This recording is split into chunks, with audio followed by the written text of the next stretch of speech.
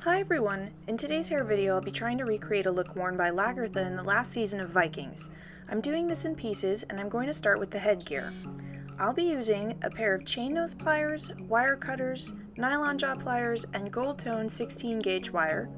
I'll also be using a glue gun and glue sticks, along with some burgundy ribbon that's about an inch wide. I've got a sewing needle and some clear nylon thread too, and a spool of stiff copper embroidery thread. For the embellishment, I've got a sizable green gold bead for the tiara, and I'm also using two sets of three different kinds of pink and gold beads for the circlet in the back. And last but not least, I've got a small box of cotton strips. This stuff is great for beauty projects too, so I'll link to where I bought it in the underbar. I'll start with the circlet. I unspooled some wire, straightened it out with the nylon jaw pliers, and cut a piece that I measured around the back of my own head. I did this off screen and the reason I'm not presenting measurements is because the space there will probably be different for everyone. You'll likely just have to experiment with what'll suit you. After I had the right amount for me, I bent it into an oval and used another piece of cut wire to secure the rounded shape. The frame is now in place and ready to go. Moving forward, I put down a magazine to protect my work surface, plugged in my hot glue gun, and pulled out a sizable strip of the cotton. The objective here is to glue the strip all the way around the circlet.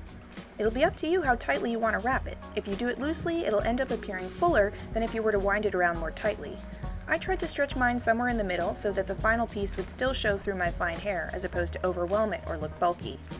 Obviously, the cotton is meant to act like a stuffing between the wire and the ribbon, and it's kind of perfect in the sense that it's super light and won't feel heavy on the head later.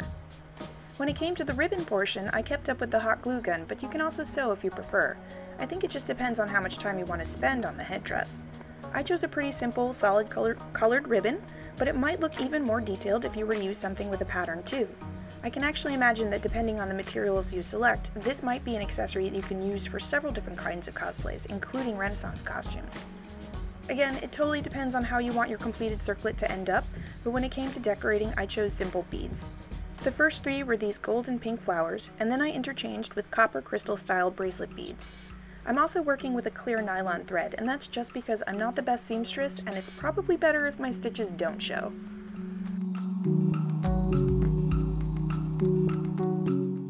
Now I'm going to tackle the small tiara.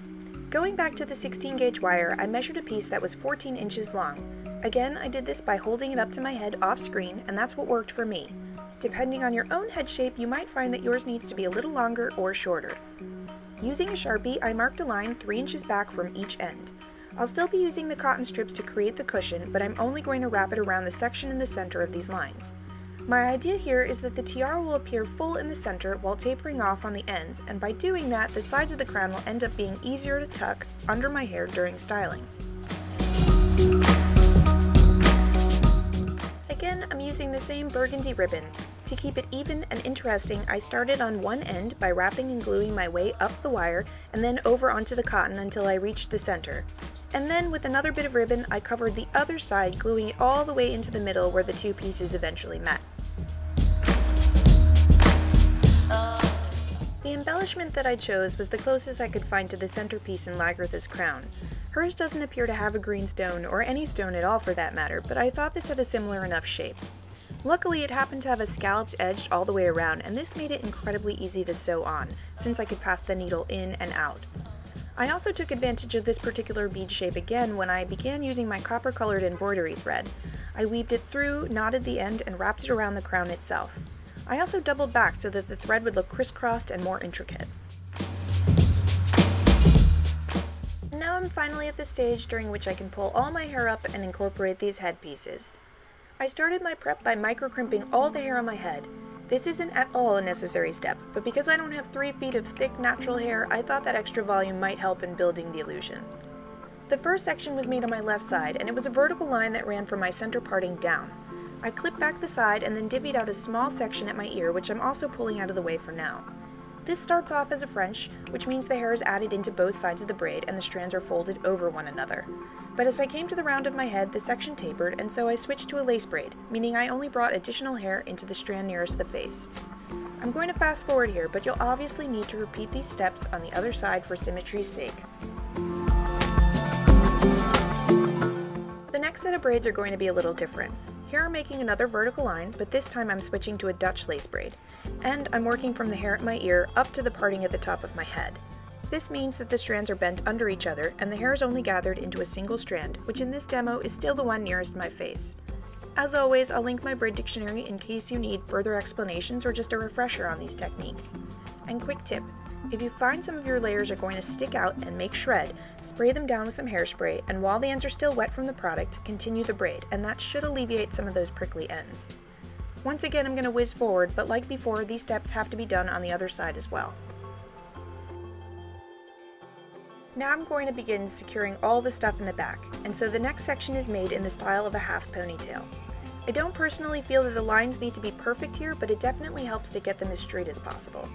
I'm also keeping in theme with the last two braids, in that this is also a Dutch lace, and this time it'll extend from the right side all the way through the entire panel over the head like a headband until it finally comes to rest on the left shoulder. Moving forward, I split the remaining hair into two pieces just as I would if I were making pigtails, and for now I'm working on the right side first.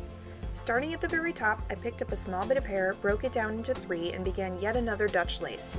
But this one's a little different because I'm not moving it horizontally across my head. Rather, it's being built at a vertical angle in a somewhat straightish line. I'm still adding into the strand nearest the face, and the hair I'm using is coming from directly behind the headband braid. Lace braids are terrific in that they provide you with a totally free edge on one side, and I plan on using this a little later on. I still have a whole section of loose hair on the right, which is exactly what I need and planned for, another reason for the lace braid. For now, I've quartered off a small portion of this at the top and I'm making a very simple three-strand braid. Definitely the easiest thus far. And like before, everything I've done on the right has to be done on the left as well. I swear I tried really hard to plan for this style without extensions, but there just wasn't any way. So here I've got two two-clip wefts of hair. I'm going to double these up by inserting them, one on top of the other, right between the upside down braids and the headband. Once they were in, I rolled them around my hand into a large barrel curl of sorts and stuck in a few pins to keep the shape. The tiara came in next and I put it onto my head right behind the very first two braids I made. Lagertha's updo has a ton of height right behind the crown, so to try and recreate this, I did my best to pin those two upside down lace braids sideways. Honestly, I think it would have been more successful if I'd sewn them together first, but at this point I was just eager to finish and see how it was going to turn out. I will say that the barrel curl at the crown acted as a great cushion, and I was definitely able to lean things against that. I followed up with the braids at the front of my face too by pinning them back with a series of traditional closed and open pins. I have to imagine that in this case, the longer your hair is, the easier it'll ultimately be if you try this out. Had my hair been just 3 or 4 inches longer, I might have been able to zigzag them back and forth more than twice.